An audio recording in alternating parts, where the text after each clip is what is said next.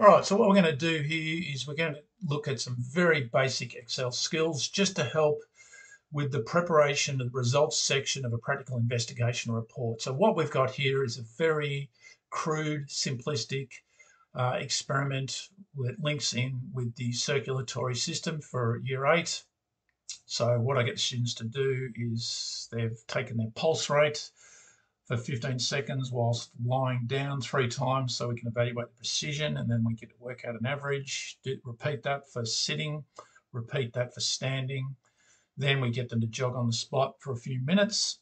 Only do that once due to time constraints of the lesson. They take their heart rate and then again three minutes after recovery time. So I get them to average out that data for those first three trials and then basically we uh, record that manually on the board, and then I get the students to manually type that into their spreadsheet.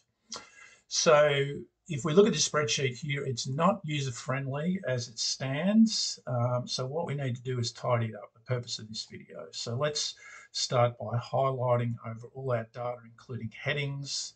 We'll go up to the alignment section and we'll just center it. So this is cosmetic, I agree. Let's give it some grid lines. If we go up to the font section, hit that drop down and give it some borders. I'm going to go with all borders here.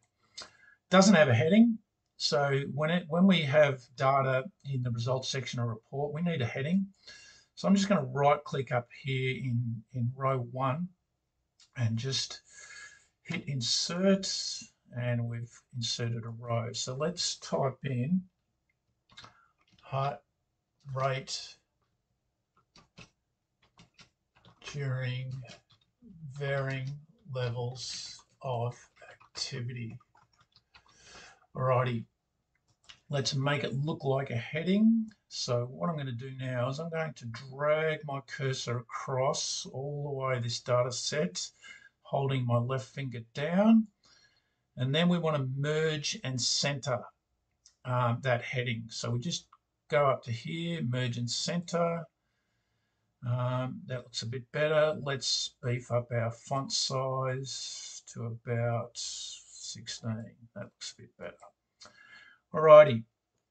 Now, again, this is all our raw data. Now, the advantage of having it at this point here is before we get into calculating averages and all that, we can basically do a little bit of Excel work just to spot some outliers, and that's going to be useful in our analysis. So when you um, we're going to do a data sort here. Now, what you need to do is highlight all of the data, including what student number they are.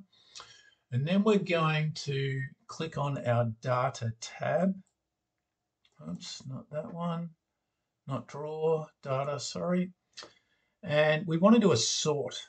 Now, I'm interested in this column here, column F. Um, let's see what we get when we do a data sort. I've just clicked on it. Um, if we go down here, sort by, let's go to um, recovery. And we want, yep, cell values. Let's, yeah, go from smallest to largest. Okay. So look at this one here, 68. So student number 19 had a recovery of 68. This is an outlier when we look at the next lowest, 96, etc. So I'd be just encouraging my students to just take a note of that, that this student 19 is an outlier. Maybe there was a flaw in the way they measured the pulse rate. Let's go again, and this time let's go with the same process.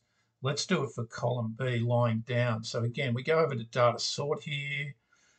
Um, this time we want lying down and again smallest to largest and have a look against student number 19 has got a resting heart rate of 28. Very unlikely. Um, very unlikely that that was accurate. So, um, and that's a good thing because that gives students something to discuss when they're evaluating the methodology, going, there is some issues in terms of accuracy when measuring heart rate by, by using your fingers on a wrist lacks accuracy and therefore validity. Okay, let's resort that. So again, this time we'll just go back into the student number, smallest to largest. So that's where we started. Alrighty.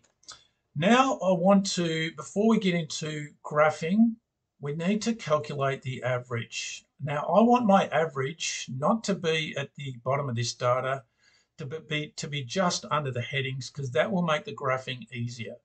So if I go into column four and I right click, I'm going to insert a row again. Okay. And I'm going to type in average in the first column. And what I want to do here is I want to calculate the average for all five conditions. So whenever we get Excel to perform a cal calculation, we always type in equals, which on my keyboard is next to my backspace. And then we just type in the word average, open bracket, because now we're going to highlight the cells. And I just go all the way down to that 20th student, drag with my mouse up to the first student. So I've got cells B5 to B24 as, it, as you can see there on the screen. I close bracket and then hit enter. Now, the beauty of Excel is rather than doing that five times, I can copy that formula. So control C. So make sure you're in the cell that you want to copy.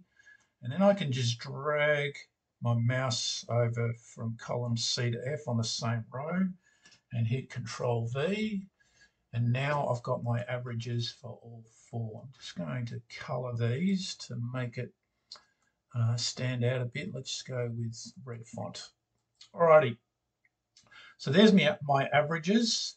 So that's pretty much it for the data table. So when I want to paste that into Word, if it doesn't paste nicely, then what you can simply do is just take a screenshot.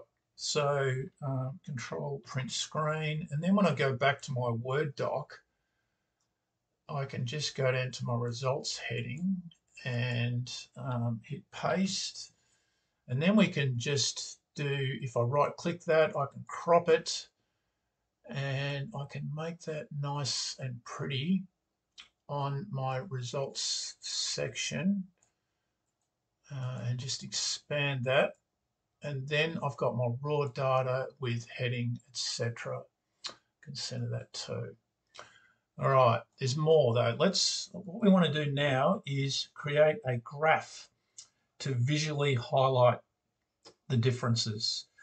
So for my graph, what I'm going to do is I'm simply going to highlight my five conditions, just the headings in row three, and the actual numbers in row four. So I've just highlighted those five columns um, and two rows, and then we go to insert.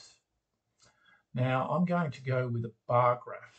I'm not looking at a trend. I want to have five discrete bars that we can visually compare. Um, let's go with a, yeah, well, 2D column, bit plain, I know. And there's my graph. Now, we need to um, basically add a bit more information here on our axes. So if I click into this cell, uh, then we can alter the heading. Um, so again, I'm just going to put HR during varying activity levels. Yep. And if I click on that, if I add, click on the plus button here, then I can add a bit more information to my axis titles. So again, I just right click the graph, I hit the plus button, I hit the axis titles, and if I go here, all right, you always have to have axes titles because otherwise, what do these numbers mean? So just going to type in heart rate, BPM. If you don't like abbreviations, put um, beat per minute all right, and now I'm going to go down to this axis here, and I'm just going to type in um, different levels of activity. Now, I can mess with the font and all that sort of thing. If I want to pretty it up a bit, what I can do is I can uh, manipulate the colors. So if I just right click here, let's go with a nice orange one for that one. Right click that one. Let's make that oh, green.